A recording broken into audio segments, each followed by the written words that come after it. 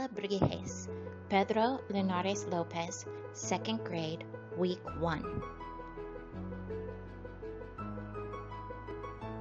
Pedro Linares was an artist from Mexico. He came up with the idea for Alebrijes in a dream. His dream grew, and now many artists in Mexico create alebrijes. It has become a folk art, which is an art created by people instead of professionals. Pedro mixed animals to create fantastic beasts.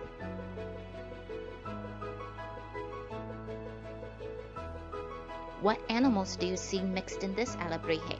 It is also by Pedro.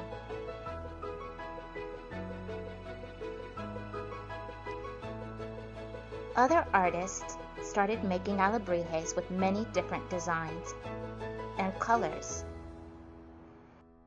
this week, research three animals and start to practice sketching them. We're not making alebrijes, we're just practicing animals.